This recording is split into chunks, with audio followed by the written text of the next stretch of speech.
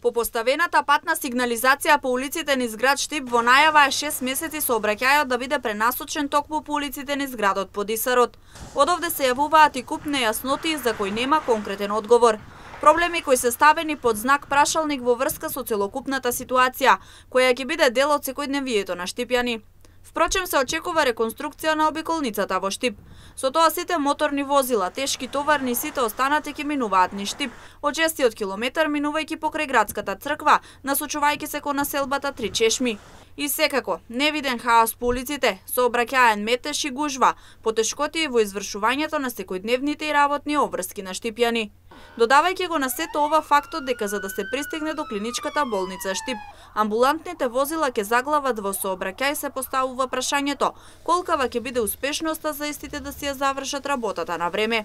Штип како центар во источниот дел на државата, град во кој се препраќаат пациентите од Кочани, Берово, Делчево, Виница и целиот исток, а одовде нередка и ситуацијата кога истите се препраќаат за Скопје, проблемот ќе биде неминовен. Од друга страна, населението во Новоселската клисура со зголемена опасност за нивните деца и жители, како и слободата да се движат по улиците представува уште еден голем проблем.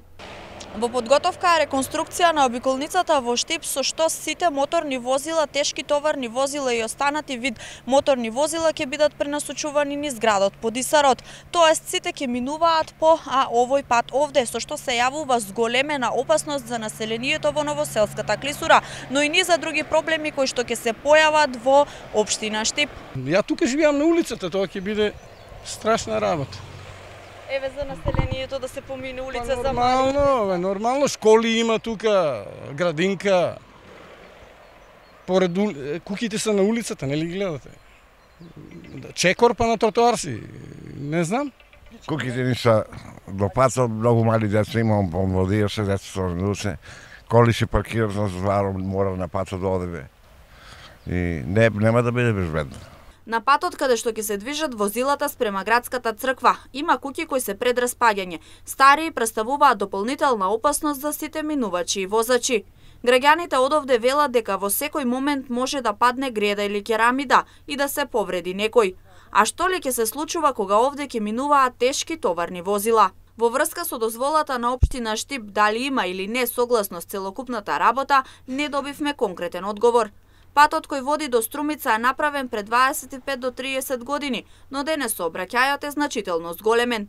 Собствениците на стопански капацитети кои се наоѓаат по должината на патот, со предлог да се одржи состанок за создавање на привремен земјен пат, но состанокот не се одржа. Приватната компанија која ќе врши реконструкцијата на обиколницата се уште без конкретна изјава што, како и каде ќе се работи. Единствено поставените привремени знаци сведочат дека на вистина нешто ќе се случува.